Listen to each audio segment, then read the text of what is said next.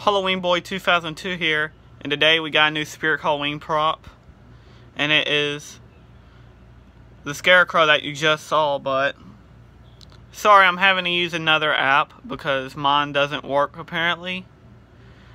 I'm to say that I don't I like it, but it doesn't fit out with the Fiends. We got a pirate boat and we got aquarium. We already know it. It's out there. But I I wish they could have brought him out last year with the Scarecrow theme. But I do love it. And I might be picking it up. So yeah, thank you for watching. And subscribe.